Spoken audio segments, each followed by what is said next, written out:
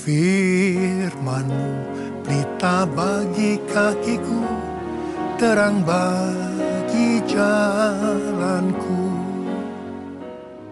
Shalom jemaat yang terkasih dalam Tuhan, kembali lagi bersama saya Enery dalam Breaking News GBI Crown Palace. Mari kita saksikan beberapa informasi untuk minggu ini.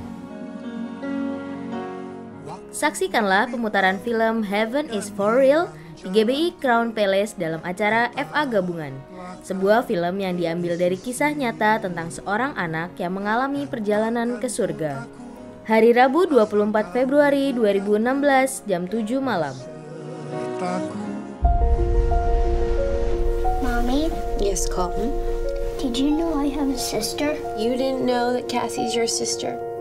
No, I have two sisters. You had a baby die in your tummy, didn't you? Honey, who told you I had a baby die in my tummy? In heaven, this little girl came up to me. She told me she died in your tummy. We need to get him in surgery right away. The pain that I suffered watching my son that close to death. We're in trouble here. He's much worse. Will you call some friends and pray for him?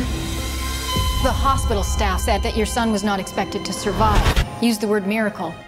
Your son had a near death experience. He saw things that I can't really explain. I lifted up and I looked down. Mom was in one room, you were in another room yelling at God.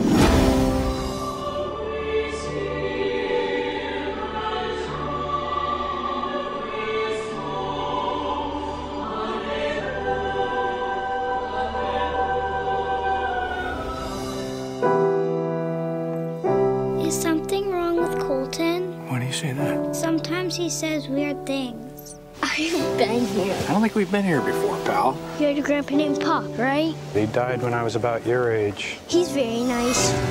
You saw my grandfather? Where did you see him? In heaven? Is this him? Is this the man you saw? No, in heaven everybody's young. Is this him? Yeah, that's him. That's Pop. I want to believe him. But everything he talks about is impossible. You saw heaven? What does it look like? It's beautiful. They don't believe me, do they? Some people might be afraid to believe. Don't you think we need to be talking about this life? Haven't we already had a glimpse of something? In the first cry of a baby, the courage of a friend, I see it, so I believe it. Do you?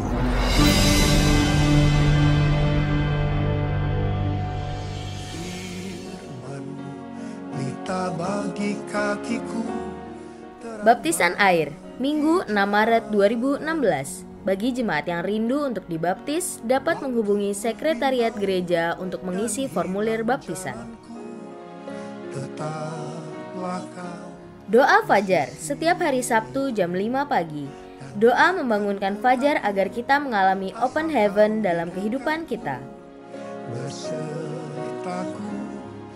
Ibadah Yud mengajak seluruh anak-anak muda untuk hadir dalam ibadah khusus bagi anak-anak muda yang ingin menjadi dampak bagi sekitarnya.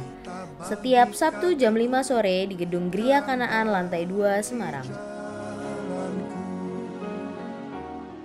Demikian tadi beberapa informasi untuk minggu ini. Untuk informasi selengkapnya dapat dilihat dalam website gereja.